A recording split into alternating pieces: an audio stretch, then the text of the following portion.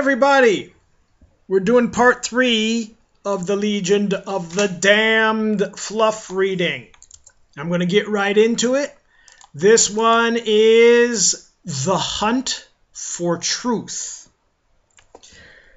Speculation as to the Legion's nature runs rampant amongst the cognoscenti of the Imperium.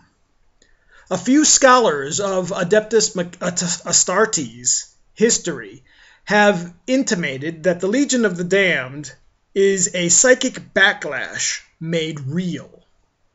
Events such as the Isstvan massacres or the death of a Primarch were so traumatic they left a permanent scar on the psyches of all of the first founding legions. So these theories run a scar so deep it has permeated not only the chapters that came after them, but hundreds of successor chapters since that tumultuous time.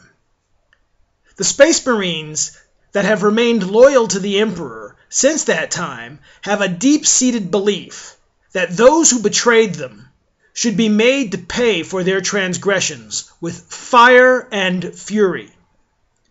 It is quite possible that the librarians of the Adeptus Astartes tap into this belief and make it real, whether by accident or design, resurrecting the ghosts of their fallen brothers and giving them a chance to wreak their terrible revenge.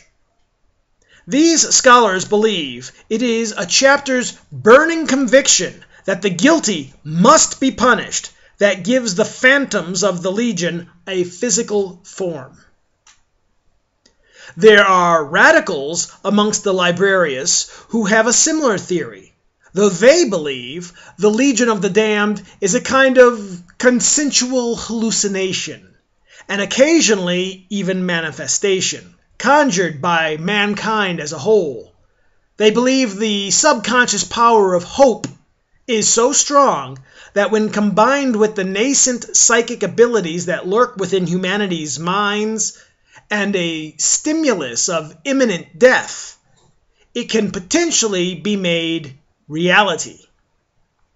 Central to this theory is the idea that though a single man may have but the tiniest shred of spiritual or mystical ability, the uncounted trillions of humans that populate the Imperium all contribute to a kind of psychic reservoir that can be tapped into its extremis, even by those who do not realize they are doing so. The Adeptus Astartes have come to embody both hope and terror to a beleaguered Imperium, and the form of deliverance and vengeance alike.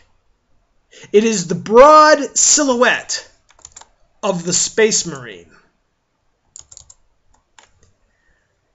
The theory is reinforced by observing that the aspects of fire and death that are associated with an Adeptus Astartes are made manifest upon the armor of these conjured warriors.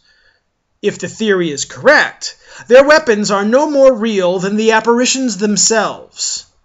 Yet the psychic fires that shoot from half imagined bolters are real enough to burn the enemies of mankind, or even to blast them bodily apart in the manner of true mass reactive ammunition.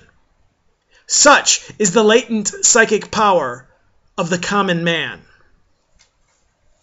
And then the prologue. They are creatures born of the warp that much even a child could divine. That they wear the shape of mankind's vaunted defenders is a matter as immaterial as the warriors themselves.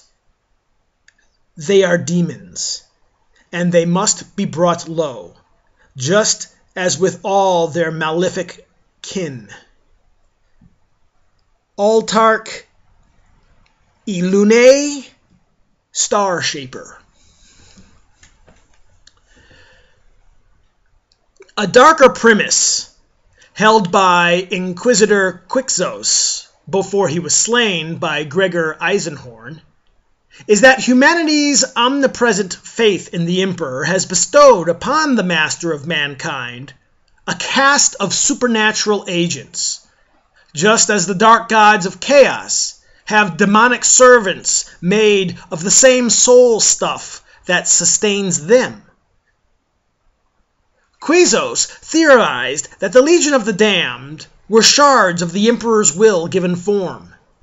Furthermore, the Inquisitor's writings posit the idea that these angels mortis can take a number of forms, just like the demons of the ruinous powers range from the diminutive to the colossal, and that their greater forms have yet to be recorded.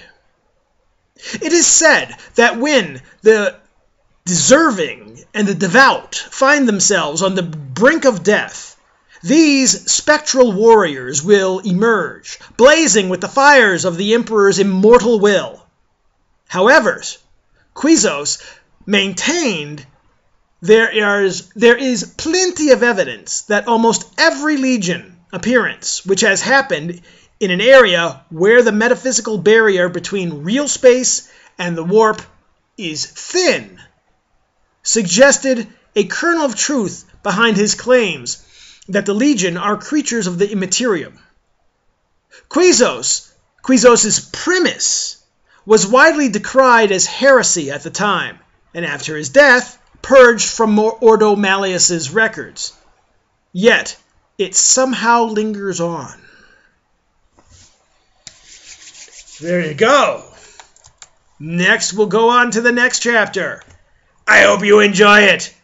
And quite honestly, even though I haven't read it all, I'm going to guess they're just not going to tell you really who they are. Time travelers, demons, whatever. I don't think at the end of the codex they're going to, give you a final answer. But it's fun to guess! Bye!